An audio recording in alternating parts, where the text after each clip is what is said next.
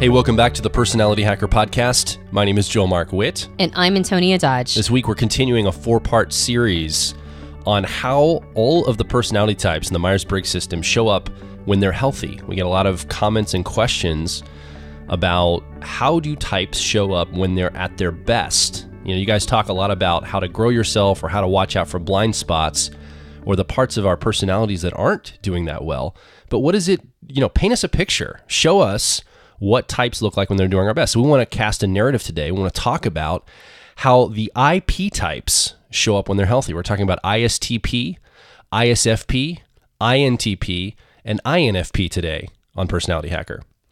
And one thing we've noticed going through this series is that showing up as your best self as each of these types doesn't mean that you're fitting a stereotype necessarily. In fact, what's great about talking about the types when they show up at their best or at their most healthy is we get to bypass stereotypes. Yeah. And we just get to talk about how they're going to show up in their behavior and some of the ways that they look at the world and their perspectives. And that doesn't necessarily mean that they're going to fit any particular, you know, trend with that type. What's great about talking about the four IP types is there's one characteristic that seems to run through all four of these types when they're at their healthiest. Because all four types lead with a dominant function or what we call a driver process of either introverted thinking or introverted feeling. And our nicknames for that are, are accuracy and authenticity. These are decision making processes but they're introverted decision making processes, which means that the criteria for whether or not something is true, valid, right, you know, follows a, a series of should statements about the world. Because they're introverted, it means that the qualifications for whether or not something is good or bad, right or wrong, makes sense, feels right, etc., is entirely subjective to the individual. Yeah. There's nothing that they can really point to in the outside world that that yeah, I mean, they, maybe they might have a, an argument that is a proof for why they feel the way that they feel or why they're thinking the way that they're thinking. But fundamentally, it comes down to what strikes them on an individual level as being right or true. And so there's a quality around IPs, all four IP types, that when they're at their healthiest, that is a very centered process for them. Mm-hmm. They feel very grounded in it because if you have a lot of question, internal questioning as to whether or not something is right or wrong, that means you're going to feel like a lot of different you know parts inside of you are pulling you in different directions. It, it makes you feel very uncentered right? Like you have a lot of indecisiveness. There's a lot of questions about what you should be doing how you should be going about things. And that lack of centeredness is oftentimes why ips feel um, like almost like they're unsure of what they should be doing and they end up blasting the energy of that dominant process in in the direction of whatever comes into their their view. It's almost like a shotgun right? Like and and, and let me give you an example of this. Uh, when somebody leads with the process of introverted thinking or accuracy one of the ways that it shows up when it's not healthy when it's not grounded and this can happen with both ISTP and INTP types because both of those types lead with the driver process of introverted thinking or accuracy. What it can look like is they have to go prove to everybody how wrong they are. And so they're just waiting for an opportunity for somebody to come into their view, maybe online. They read a comment that sounds wrong to them and they've got to go tell that person how wrong they are, right? and they just yeah. sort of crawl the internet to set the, you know, set everybody straight on how wrong they are all the time. And the same thing happens with people who lead with the process of introverted feeling. So those would be the the ISFP and the INFP types. And this is less about proving how everybody's wrong. This is more about the the feelings that they're feeling if they're not in alignment, if they don't have like a feeling of control over that or a feeling of of um, uh, groundedness or centeredness in their feelings, what that tends to look like is they're they're looking for a reason why they're feeling the way they are. They haven't really found a, a way to uh, to to be in control of that or to feel like that's their purview or domain. Yeah. And so they're they have a tendency to blast blame at other people. They're looking for who's responsible for the feeling that I'm feeling right now. who's the person who's responsible for this? And so that's how they tend to blast things outward to others is that they they cast blame to others for why they're feeling the way they're feeling. And so again it's a matter of whatever you know like whatever is coming up for them in the moment whatever's captured their attention and whoever is around while that thing has captured their attention that it gets a blast of that driver process. But when an ip is really developed when they're really healthy they no longer have to correct the world. They don't have to go through and tell everybody how wrong they are. And they no longer feel that other people are responsible for their emotional, you know, reactions to things. And so there's a feeling of centeredness or groundedness that all the IP types have when they're at their healthiest. And it looks a little different depending upon which of the four types they are.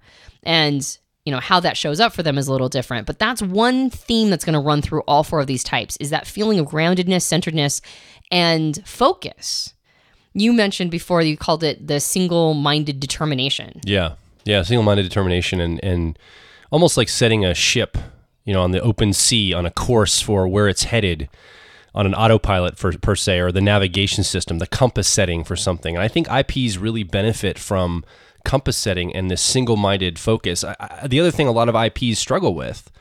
IFPs and ITPs is this sense of motivation. How do I get myself motivated to get up and get going and go for my dreams or my goals. And I think we're going to talk about some healthy expressions of how IPs show up that give them that motivation, that internal motivation where I think IPs are some of the the most unstoppable personality types. When they are on purpose or mission of something to accomplish, you have to kill them to stop them because they are just so motivated. And they struggle with that motivation, but once it's there, they're going for it and they've got that compass set and they're clear on their intention and where they're headed. And I think that's really a, a healthy expression for IP. So let's let's start digging right into the two sensor types for IP. So the ISTP and the ISFP. Now both of these types are going to share the set, the same co-pilot process of what what is technically called extroverted sensing. We've nicknamed it sensation but they have different drivers. Obviously, the ISTP drives and has the dominant process of introverted thinking, we've nicknamed it accuracy, and ISFPs lead with introverted feeling or authenticity. So, the growth position for both types is going to be about that sensation process, about getting into their bodies, getting into the present moment, getting into the sensory experience of life, getting external, getting external of themselves, getting out and doing things, getting into action. This is the growth state for both ISPs in the Myers Briggs system. Now, one of the things that you might want to do what you are going to want to do as we talk about this is head over to personalityhacker.com and just type into the search bar there car model. It's going to bring up an article that talks about a system that we use or a framework we use for understanding personality types. It's a car model, it's a visual representation, and we're going to be talking about drivers and co pilots and 10 year olds in the back seat. It's going to be really helpful for you to have a visual representation of this in front of you and possibly even go back and listen to some of our podcasts around the car model and how we present personality types. It's a great framework for understanding this. It's going to be beneficial as we walk through and cast a narrative for how these types show up in a positive way. So let's start with ISTPs and the two ISP types. Now, one thing that is important to remember about both ISP types, ISTPs and ISFPs, is that while they have different driver processes, they share the same co pilot and 10 year old processes. So that means that their growth state is the same. And it also means that the tendency that, you know, we all, we basically all have a tendency to go to our 10 year old in times of stress or defensiveness, rather, they're both going to have the same place that they go when they're trying to be defensive. So when they show up healthy, they show up in kind of a similar way because they've done the same style of growth in order to get there. So ISTPs, just like ISFPs, have a process that's technically called extroverted sensing as their co pilot process, and we've nicknamed this sensation. Extroverted sensing is very much about being in touch with the world in real time. It's about using your senses to take in information, stimuli. It's about being connected with your body and understanding that your body is an extension of um, your mind and really being able to process sort of insane amounts of information in real time in the moment. So, why would that be a growth phase for an ISTP? Well, just like we mentioned before, that dominant process of introverted thinking subjectively determines what makes sense to the individual. Anytime you're dealing with this level of subjectivity, even if introverted thinking is subjective in an analytical way and is looking for logic, is looking for things that make sense, even though it is looking for the logical conclusion, it's still subjectively logical. It's still what's logical to me as an individual. Well, if you don't take in information in the outside world around you, that can get pretty it can look like a closed circuit loop. it can look like, oh, this totally makes sense to me. So that must be how it is. And as I'm sure everybody has experienced, something can make complete and total sense to you. And then all of a sudden you pick up a new piece of information and it revolutionizes how you see that thing. It no longer makes complete and total sense. Now you have more information to work with, and now something else makes sense. Well, that's why that co-pilot process is so important for a healthy ISTP because that's your input mechanism. That's how you take what makes sense to you and then vet it in the outside world by looking around the world and going, "Hey, is the world matching this? Is it giving me feedback that supports my conclusion?" Now, when an ISTP is not healthy, they'll bypass that and go to the 10 year old process of introverted intuition, or what we've nicknamed perspectives. And introverted intuition is fundamentally trying to find patterns, things that make sense in a, in a pattern recognition way. Now, pattern recognition means that you don't look at all the information. You look at parts of the information and then form a conclusion based on a projection of what could be, right? It's not dealing with what is, it's dealing with what could be. So when an ISTP doesn't go to their co-pilot process, they're not trying to seek inputs. They're just trying to find a pattern that will support the conclusion that their driver process already came to. Yeah. And that's why it creates that closed circuit loop. So one of the things that is very clear about ISTPs that are super healthy is that they don't shut off their input mechanisms. They are totally open to new information in the outside world. They are totally open to the information that's coming to them in real time. They won't shut that off. They will input, input, input. And then what ends up happening is the 10 year old process, instead of you know, getting, we talk about how sometimes it can get paranoid or it can project a future that isn't true or it can be suspicious of loved ones. Instead of supporting erroneous conclusions that the driver process may have come to, instead it actually supplements the input mechanism of their of their co-pilot of sensation and then understands a philosophy about life that is supported by the re- uh, by real world experience. So instead of coming to a conclusion and then looking for information to support that conclusion, it goes the opposite direction. It gets information first and then tries to determine what that information could mean. What's the meaning of that? And the, and so it provides insight. So ISTPs that are very healthy are single minded focus, right? They're focused on the thing that is meaningful to their introverted thinking or accuracy driver. So they're not just going out and trying to prove the world wrong. They're not just blasting their conclusions out. They actually have a purpose, they're on purpose, and then they recalibrate their purpose when more information comes in that might put that purpose into question. They're open to new information. And so that ends up being, it ends up instead of causing indecisiveness, which can happen with an ISTP that's not healthy, what it does is it ends up creating more clarity. Yeah. It ends up creating more clarity. And so the purpose gets even clearer. And then once the information is brought in and they're and they're engaging in the outside world, they're doing stuff, they're making things happen, wisdom comes with that. Insightfulness comes with it. The ability to see into the future even if it's a small amount into the future.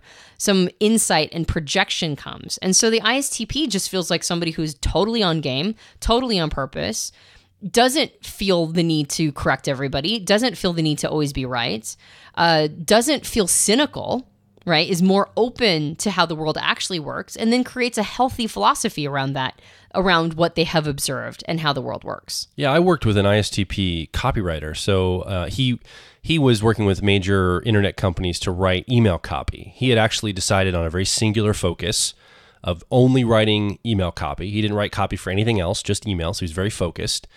And he used metrics and real world feedback to adjust his sales copy and emails that he would send out. So he wouldn't speculate on what should be working. He would always vet that against the actual numbers. He'd get reports back and he'd look at how many people clicked on certain links in email copy versus how many people opened the email versus how many people didn't open it versus how many people marked it as spam. You know, he would look at the numbers and he was very careful to always say, well, here's the reason why I'm making this decision. I would make it because this is how many this one opened. So I'm going to use that email in the future because it seems to resonate with people. It seems to work for people.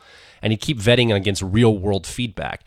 I worked with another copywriter at one point who wouldn't do that. They wouldn't look at the metrics to see what was working. They were they had read some books and some information around and they weren't an ISTP.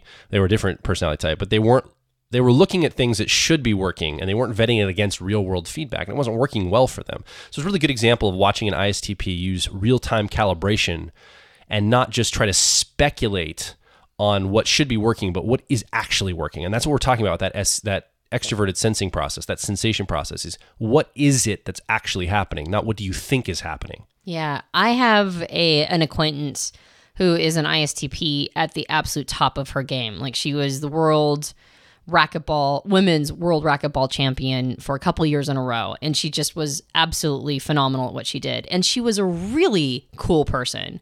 Very chill very neat just like a pleasure to talk to. And it would it would surprise almost anybody to know the kind of trauma that she had gone through in order to get to where she was at. Before one of her like the I think it was like the first championship the first world championship that she had entered or maybe she was trying to defend her title. Maybe it was the second one. She was jumped by a couple of um, people. I mean, the the guys were hopped up on some drug. I don't know what they were hopped up on, and they beat her, stole everything that was on her, stole her phone, stole her money, stole all her jewelry, and beat her face into a place where like it had basically collapsed her um, her socket, her eye socket. And this was just maybe I don't know, like a month before the championship and then they left her there just to bleed out. I mean, I don't think that they left her to bleed out. I think they just left her because they weren't thinking that far ahead. So she ended up going to the championship game with her like half her face bandaged. I mean, it was like a month or six weeks. I mean, it was not a lot of recovery time, but she was so focused on what she was doing. And she was so focused on the game and so focused on what was important to her that despite this experience that had happened to her, she was not going to let anything stop her.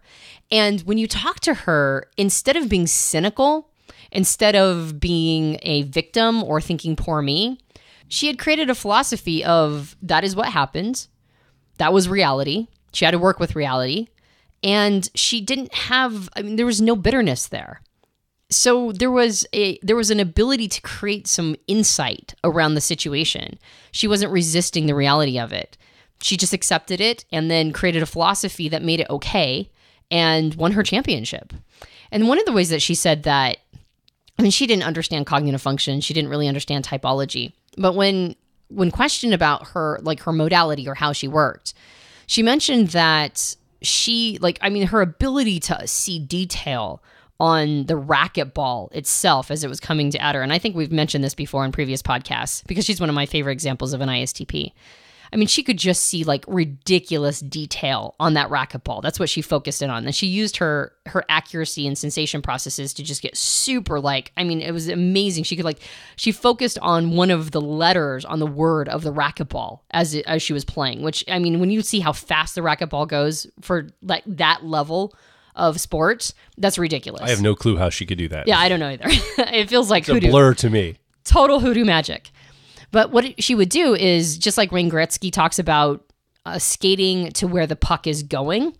She had the ability to forecast where the ball was going and to be able to pick up you know, like based on the physics that she was observing her in her opponent and the angle at which they had the racquetball or the um the the racket itself, she could forecast in very. I mean, obviously this is super fast in short timelines, but this is a place that I believe her perspectives process, her forecasting ability showed up for her was to be able to project into like the next few seconds where the ball was going. And so, I mean, this was happening so quick in such real time there's no way that you could possibly like full lay out all these processes. But because she was so focused and because she was so into like physically following through, using that sensation process, having no question about what she was, you know, doing and just practice, practice, practice, her perspectives 10-year-old, that introverted intuition 10-year-old showed up in very interesting ways, ways that served her as opposed to getting her in, caught into a loop where, you know, like we just talked about that closed circuit loop where you're just looking for you're looking for patterns that will support your conclusions as opposed to using that pattern recognition ability to serve the sensation process to serve extroverted sensing so that you can you can be better at your performance so that you can have philosophies that serve you. And so i've noticed that istps that are the healthiest at the top of their game they're on purpose they're chill they have philosophies that serve them. They don't have an anxiety or anxiousness about them that they're just doing their thing. And and there's a lot of there's a lot of just sort of you know a, a feeling of like that this is what is and i'm going to accept it and i'm just going to do the best that i can with it. Yeah i think that anxiety is something that isps deal with. And, and let's let's tact over here. Let's switch gears i should say over to the isfp personality and now they lead with a different function, like we talked about introverted feeling, which is authenticity. We've nicknamed authenticity as their driver. Authenticity is about internal alignment, what feels right, what is, you know, what should we be doing in a situation. It's a lot of concern around ethics, morality, things that we should be showing up to in the world as humanity. A lot of ISFPs are artists, writers, creators, but that's a stereotype again that we we put onto ISFPs. There are a lot of ISFPs that do a various amounts of work and interests. But what does a healthy ISFP look like? Again, that sensation process is their growth state. So they're focusing. An ISFP that's healthy is focusing on getting into the external world and being a part of the real world, touching, feeling, tasting, experiencing, getting in their body, being present to the moment, and getting out of that 10 year old process, just like the ISTP, of speculation and wild theories that they're drawing conclusions, you know, behind the scenes and then trying to project that in the outer world. They're actually in the outer world getting the feedback that the world's providing. And one thing ISFPs struggle with, I think different than ISTPs, because that authenticity or introverted feeling process is so concerned with ethics and morality that a lot of should statements come from that. Here's how the sh- world should be working. Here's how we should be showing up as humans. And that feels so real and so visceral on a very internal, subjective space for the ISFP. If you're an ISFP, you know this is, it feels just right and wrong certain things for you. And often you can use that 10 year old process to support what you feel is right or wrong by basically making up a philosophy of life that fits what feels right or wrong to you and it may not play out in the real world. It may not actually be what's happening for real people in the real world. So a healthy ISFP doesn't create a philosophy and then try to project it outward. They actually experience life and they build their philosophies and their should statements based on how the world works, not the other way around. And I think this is this is the difference between someone that's struggling, still growing themselves as an ISFP, and someone who's really developed, someone's really centered and grounded as an ISFP. They're basing their philosophy on life and what they think is right or wrong or ethical on real life examples, real world feedback in real time. I think one of the ways you can really tell a healthy ISFP is that they don't get offended easily. Mm-hmm. I've noticed that ISFPs who are in that closed circuit loop of their dominant or driver process of introverted feeling and their 10 year old process of introverted intuition, because they feel so strongly about their convictions and because they haven't really vetted how things work in the outside world as much, they're just looking for things to support that it's very easy to trigger offense right? Like you've like you've hurt their feelings or you've offended a conviction of theirs. The more they get into extroverted sensing or sensation the more open to input they are from the outside world the less they'll be offended and have to manage their feelings of offense they'll be more open to how you know to, to the struggle of other people they'll be more sympathetic to others on what other people are going through, not just what not just how those people are impacting them, but rather being able to match the vibration of the other person, to be able to sympathize with them and really understand what's happening for them. And in that way, they after they've pulled in that information, after they've been open to this input from sensation, then their perspectives process, that 10 year old introverted intuition, can show up as, as insight into other people. It can really show up as insight. I'm thinking of a, um, I think of an ISFP who works with teenagers a lot. And what's interesting is I don't know if I'd use this person as a general example of a truly healthy ISFP because when it comes to other adults, they actually get triggered pretty easily. They get offended by other adults very easily. And they shut up they shut off their inputs when it comes to other adults because they get offended so often. But they found their sweet spot of working with teenagers because they already feel like teenagers don't really know any better. So they give teenagers a pass. And so when they're talking to teenagers and counseling them, they don't shut off their input. They totally open themselves up to whatever the teenager has to say and they don't get triggered by it. They don't get offended. And so when it comes to teenagers, this person is incredibly insightful because they're open to whatever the teenager has to say. They don't take it personally. They don't think the teenager is trying to offend them. And so in that way because they've opened themselves up and they're not managing their emotional experience to how this other person is making them feel. They're completely in a like in tune with the other person's feelings. Then they're able to use introverted intuition or perspectives to bring in a lot of insight into what's going on for this other person. And so they make an excellent counselor for teenagers. So when an ISFP is at the top of their game i've noticed that they're not just thinking in terms of how is everybody else making me feel. Remember we talked about at the beginning this idea of you know, sort of that shot, that dispersed energy, that shotgun blast of introverted feeling or authenticity, where it's everybody else's responsibility to make me feel a certain way. That no longer becomes the issue or the, the, that, that's no longer a problem because they're using the co-pilot process of extroverted sensing in that philosophical well that is whatever it is they're open to new information. They're inputting information. And so it's not just about how they're feeling, it's about how everybody's feeling or sort of calibrating to other people's feelings as well to be able to really get into a sympathetic state, not taking the outside world's information as personal, but rather just accepting it and working with it. And in that way, they become very insightful. They use that perspectives process to really be able to see what's going on with other people as opposed to simply supporting whatever they're feeling and then projecting uh, ill intent or bad motive onto other or projecting responsibility onto other people for you know you offended me as if it's the other person's responsibility for how they feel. That just melts away. They just become present. They become centered. They become really good at what they're doing. And you know, we talked about how they're frequently artists. They can be excellent performers, but they can be just as good at counseling if they really open up that sensation co-pilot. It can also be a, uh, an interest of theirs, an aspirational interest to be a counselor, somebody that helps other people shift perspective and see new ways and new possibilities. And I think ISFPs at their best make great counselors in that.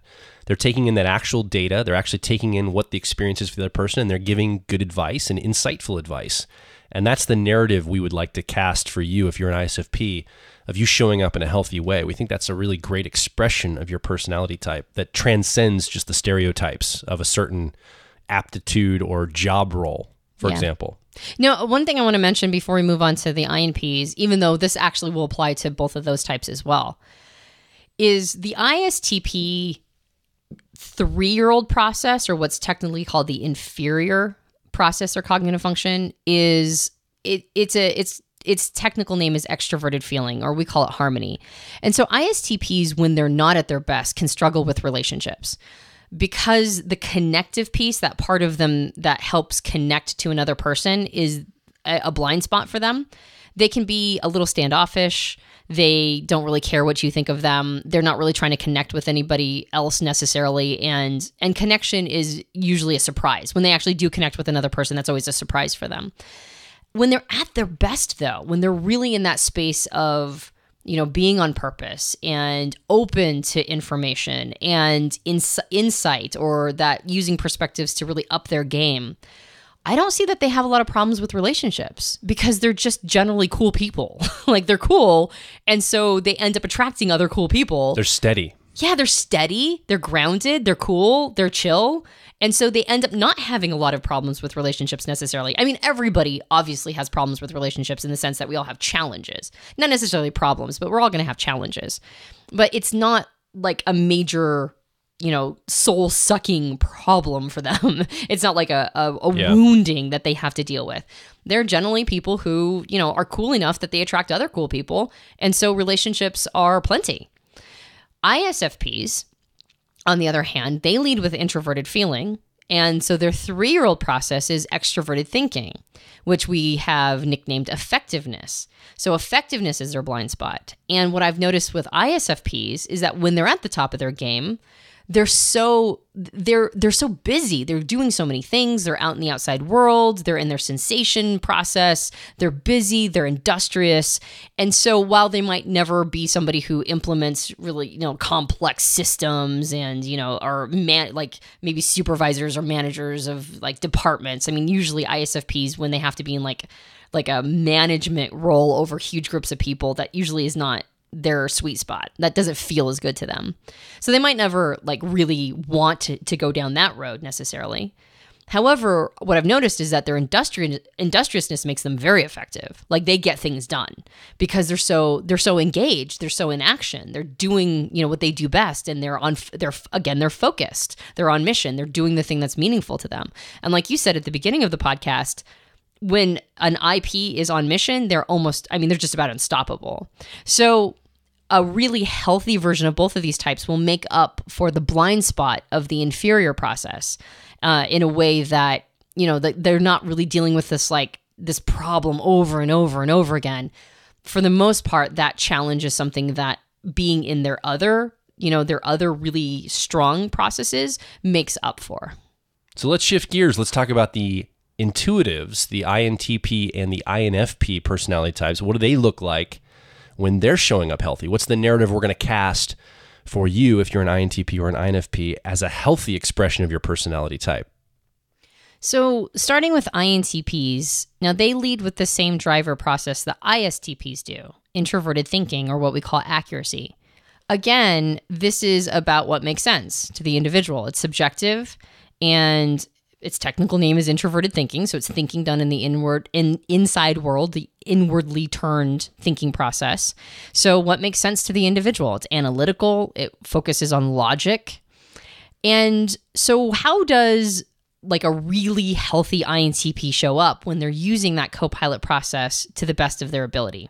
Well, what can happen if you use this process of accuracy and you don't gain more information, you don't open yourself up to new possibilities, you just stick with what you know, right? Or what information you're familiar with, you could be coming to erroneous conclusions that make complete and total sense to you. And you look around at everybody else who may or may not be agreeing with you, and the people who aren't agreeing with you, you think they're idiots.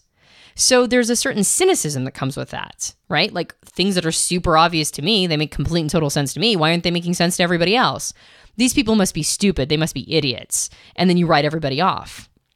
When an INTP is super healthy, they don't go to cynicism. They don't feel the need to correct everybody.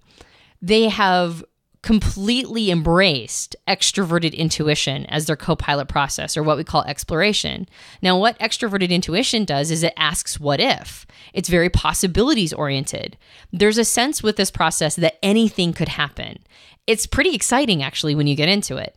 And so when you experience the outside world and you take in information just like an ISTP does with extroverted sensing, you take in more information and then you also see patterns forming, new possibilities, new patterns. And these new possibilities and new patterns fuel the accuracy or introverted thinking process to think up even more cool stuff. And so then you become very influential. You've got all these new ideas popping around your head. You've got cool stuff to share with other people. And because extroverted intuition is possibilities oriented, there's a certain optimism that comes along with it.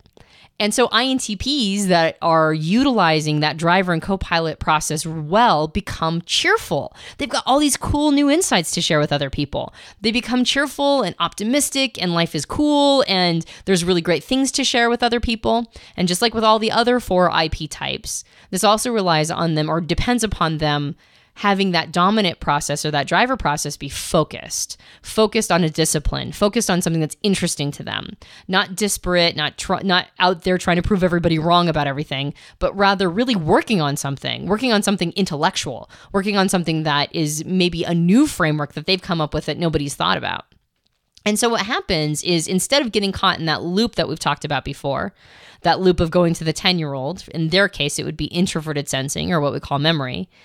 Memory is very much about what ha- what they've seen before, the tried and true um, safety orientation, and it's also about you know repeating patterns instead of going there and staying in a safe space, right? Or what what could be also called the um, the comfortable misery of an INTP because you're sticking with the tried and true, but you're Yeah. miserable, right? You're comfortable and miserable at the same time.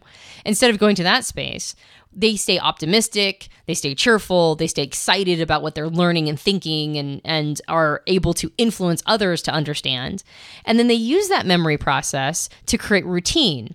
They use it to it, basically supercharge their impact if you've got something exciting to share with somebody else but you have no actual way to you know like basically distribute it right if you have no platform to distribute it if you have no business around this or no you know no discipline about around being able to write about it or whatever then your reach is going to be pretty small so what the memory process does is it helps them create routines it makes sure that they're up every morning. It makes sure that they're feeding themselves well. It makes sure that they're attending to their health and their general fitness. It makes sure that they're getting up and going to work every day or doing whatever it is that helps their reach expand. And so the reach expands. So now they're even more cheerful and happy because now they have influence. Now they can help influence other people in these cool new ways of seeing things or, you know, their new you know experiments or what they've discovered in the lab or you know whatever it is for the INTP they're able to have a broader influential reach with whatever they're thinking about and that's incredibly rewarding to the INTP so INTPs at the top of their game are a lot more disciplined. They're a lot more focused on a goal and they're a lot more cheerful in general. And just like with that ISTP you know, their three year old process is also extroverted feeling or harmony. And so INTPs that are not at the in a healthy space have a tendency, like with ISTPs that aren't healthy, to struggle with relationships and connection. But an INTP that's healthy, because they have that effusiveness and that cheerfulness and that excitement for whatever they're teaching the world, again, they generally don't have a lot of challenge. They have challenge, but they don't have problems with relationships. They generally are able to find people who love to talk to them and love to learn from them and teach them and and have those really great relationships. So it makes up for the blind spot of that three year old by helping them connect with others. Yeah, they don't have a cynicism around relationships. They have a possibility frame around people because people can be baffling to you as an INTP. People can be frustrating to you as an INTP. They seem like they're purposely myopic and purposely misunderstanding and being stupid sometimes to you. And I think if you have that possibility thinking of that ex, you know, extroverted intuition, that exploration process, you're seeing the possibilities and the good parts of people and you're focused on that, not on the cynicism around people being myopic in their life. So I think that really helps you with your relationships to have that positive frame to show up. What about INFPs? Now INFPs have the same growth growth state, the same growth position. Uh, their co-pilot has the same process, I should say, of exploration. So an INFP that's growing is focused on that exploration, doing very similar activities, asking what if questions, just like the INTP. They're out in the outer world, making connections, finding new patterns, coming up with new ways of seeing the world, maybe new new philosophies or new frameworks, new models of understanding how the world works by asking those what if questions. And what does this do for the INFP? Well, that that driver process for INFPs, just like ISFPs, is authenticity, introverted feeling. And again, it's about what resonates with you internally. What is the subjective emotional truth for you as an INFP? And that is a very powerful visceral experience for you. You you just know something is right or wrong for you based on how you feel internally. And it's not a lot of question in there. Like that's a clear indicator of this is morally or ethically wrong or this is morally or ethically right. And that extends out to things that aren't necessarily ethics or morals. That's like, what are you going to eat for lunch or where are you going to go shopping this afternoon? It just feels right to do this thing or it doesn't feel right to do this other thing. You just know that. And it's hard to explain that sometimes to other people. when an INFP or somebody who uses this process, uh, if they don't have a lot of experience in the world, it's not as crystal clear though. A lot of times, and, and you can verify this as an authenticity user, a lot of times when you go into a situation, you're not sure how you feel about it until after you've experienced it. Would you say that's accurate? Oh, absolutely, yeah. So what? Well, I'm talking about for a healthy expression. right. If the INFP is in the external world and asks what if questions, that internal metric for understanding what is the thing that they're going to do becomes much clearer for them at a healthy expression of that. I, I guess I should have made that more clear. Probably sound like I was saying that in general terms across all all platforms, all things being equal. But general, generally, if they're growing and they're focused on growing that co-pilot process, how they're showing up in a healthy expression of that primary cognitive function of introverted feeling, authenticity, is that the INFP will have a very clear understanding of what the right course of action for them is subjectively. Yeah, and it's because they've had a lot of experiences. Exploration has encouraged them to go out and try new things. It's encouraged them to get out of their shell and go figure out the different possibilities in the outside world. So they've put themselves in situations that help them recalibrate how they feel about it. So then the next time they go experience something similar, they can pull from the 10 year old memory process and go, hey, I've been here before. I think I know how I feel about this. And so that helps them create convictions. But it also helps them, like with the ISFP, expand their frame a little bit. It helps them understand that it's not just how things are making them feel, but they're also now focused on other people's feelings as well. And they're able to create more of a sense of sympathy for others. So again, there's not this sense that other people are responsible for how I'm feeling and looking to the person who is making them feel a certain way. There's a sense that they're responsible for it. And the more exploration they do, the more the more equipped they are to use that emotional aikido on themselves to be able to really control their emotion or get themselves to the space that they want to be. And so the more exploration they do, the more cheerful they get too. The more and and INFPs are not usually considered as dour or as cynical as say an unhealthy INTP would be. But I would say that INFPs that aren't super healthy have a tendency to be very um, they have a tendency to be like sort of down, right? There's like this maybe an emo feel about them. And that makes sense if everything is about how you're feeling, but you're stuck in ruts because you're in that closed Yeah. circuit loop with that 10 year old process of memory. But the more you're using exploration, again, that's possibility thinking. That's what if. That's an anything could happen phase. And so the convictions, like you mentioned, the con- the the convictions get clearer because they've put themselves in situations where they've really been able to test how they feel about things. The convictions get clearer, their purpose gets clearer, they're on mission, they're open to new suggestions on how to go about that. And then, just like with the INTP, they can use that memory process, that 10 year old process, to create discipline and routines that help them have a better and bigger impact. And it's you can also use that memory process to access the emotions you want to have around things.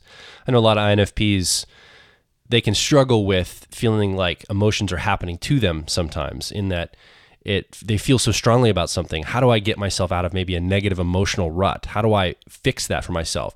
I have a I, I would consider a very healthy INFP friend of mine who what he's done with his memory process is he's created musical playlists on his iPod or his iPhone. And if he wants to get an emotional state, he relies upon music he already is familiar with in a certain playlist. He'll play that for himself to put himself in a, an emotional state that he wants to be in. He's created an emotional routine around getting the emotion he wants. So if he's got to maybe do something that's going to take some energy, some extroverted energy for him, and he knows he's got a playlist that'll give him that energy boost, an emotional framework and like purpose and intention for that, he'll actually play that playlist of music and get himself into the emotional state he wants to be in.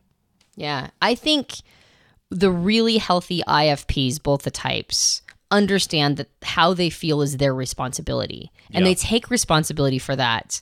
And then they become just this I mean, all the IFPs that I've known that have been really healthy have felt so steady to me. They're not anxious. They don't feel the sense of, you know, like like stuff is just happening to them and they're out of control. They have a groundedness and a centeredness about them that really shows that they understand that they're responsible for how they feel and they are focused. They're on target. They're on mission. They're using they're using that conviction piece for something positive and good to make a difference in the world and to better the lives of other people either through counseling or through being on a big mission or whatever it is even if it's small with the people around them or big in like a me, you know a major change the world sort of way. It doesn't really matter as long as you know they've got that centeredness about them. And i've, I've noticed that with i um i ITPs as well, INTPs and ISTPs. It's that centeredness that's really the sign of health. Yeah, and I think we, you know, we hinted at it that motivation piece at the beginning. If you see a motivated IP, I don't care what IP type they are, that's usually them showing up in a healthy way. The IFPs are managing their emotions. They are motivated because they found the emotion they want that will match the thing they desire. So they've gotten themselves into an emotional state that will get them to their goals. And they've managed that for themselves. They're not relying on anyone in the outside world to motivate them. It's an internal motivation, and they figured out hacks and routines to get them in that space. And I think if you see an, a motivated ITP, someone that leads with accuracy, it makes sense for them to be going for their goals. They've found ways for it to make sense, for them to expand the framework of what is logical and makes sense for them internally, subjectively. And it just makes sense to go toward that goal now for them. Yeah, and they've avoided cynicism. They've avoided cynicism. They're cheerful. They're happy, and they're focused on something. And I think that focus, like it's it's like setting a compass on the open seas toward the land you want to go to. Other ships might come by. There might be waves and storms. It might throw you off course for a minute or two or a day or two, depending on how long that storm is. But you get back, you reset the compass, and you keep going for the goal you're after. You keep going for the motivation that you're you're directed toward, and you manage that for yourself. And that's something I think that a healthy expression for IPs, the way healthy yeah. IPs show up in the world. Yeah, and then INFPs as well, just like the ISFPs. If they're on mission, if they've got that focus, that conviction, if they are at the height of their health, they don't tend to struggle with that three year old's extroverted thinking as much, the effectiveness. Again, they might not be middle management, they'll never want to be that, but they will get things done. They will be motivated, they will be industrious, and they will have the impact that they want. So, with all the IP types, actually with every type the healthier you are the more you're really showing up with your your driver and co-pilot process super healthy and then using that 10 year old to supplement as opposed to going straight to the 10 year old using the 10 year old as a supplement for the other processes then the the blind spot of the 3 year old doesn't trip you up as much. You've generally covered the base of that and so it's not as it's not something that's going to hamstring you as much. Yeah. What are your thoughts? Are you an ip have we said something that resonated with you that you were like, yeah, that's that's me to a to a T? I love how you guys explain that. I want to hear your feedback. If you've got questions, more nuanced questions around what some of the things we've talked about, we'd love to hear from you as well. Come over to personalityhacker.com. You can leave a comment directly under this podcast. You can also do a ton of research. There's free resources all over the website about all of these types. You can read more in depth on them. You can listen to audio, watch video, or even get a starter kit. If this is your personality type and you take the test, you come out that that type, you can go ahead and invest in a starter kit that explains some of this in more detail and some of the growth positional exercises we recommend for you to grow your personality. Uh, you can also join us on social media. We have a growing community of like minds, facebook.com forward slash personality hacker twitter.com forward slash personality hack. We want your voice to be heard there as well. If you enjoyed this podcast, you can subscribe to us on iTunes and various Android platforms.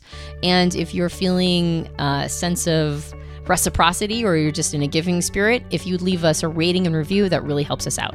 Yeah. My name is Joel Mark Witt. And I'm Antonia Dodge. Next week, we're going to be talking on the last piece of how types show up healthy. We're going to be talking about the IJs in the Myers Briggs system. So stay tuned for that and we'll talk with you on the next Personality Hacker podcast.